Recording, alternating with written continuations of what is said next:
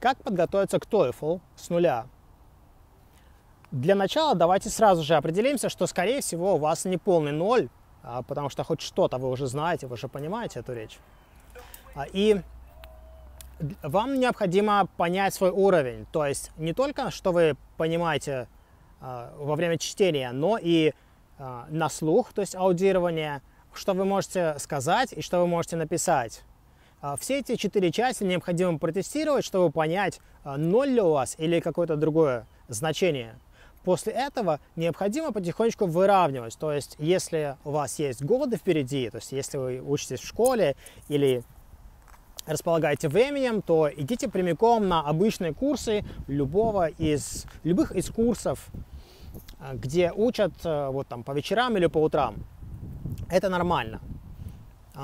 Обычно на один уровень уходит один академический год. Если у вас времени нету, э, значит, э, ну, делайте что-то еще. Например, э, берите репетитора. Я репетитор, кстати. Можете ко мне обращаться. Итак, вы определили, что, допустим, вас, вас через год уже вам можно будет поступать за границу, а у вас уже еще уровень intermediate. Что вам делать?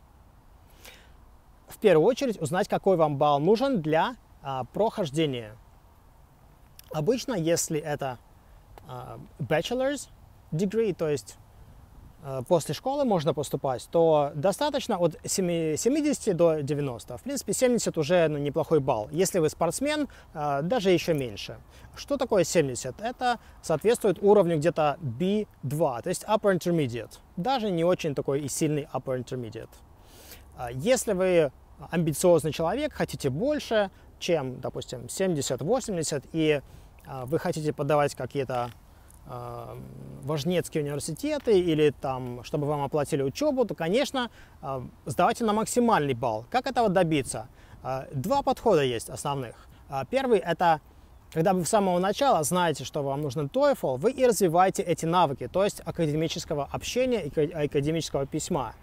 А второй подход – это когда вы длительное время учите общий английский, а уже за пару месяцев до экзамена уже начинаете тренировать вот эти вот шаблоны, которые проверяют, собственно, на этом экзамене. Вот основные, основные два подхода. Какой вы выберете, зависит от вашей ситуации.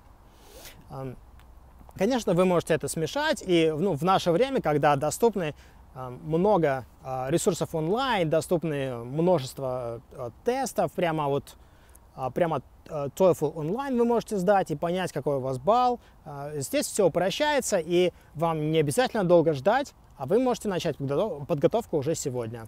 Спасибо, что смотрите.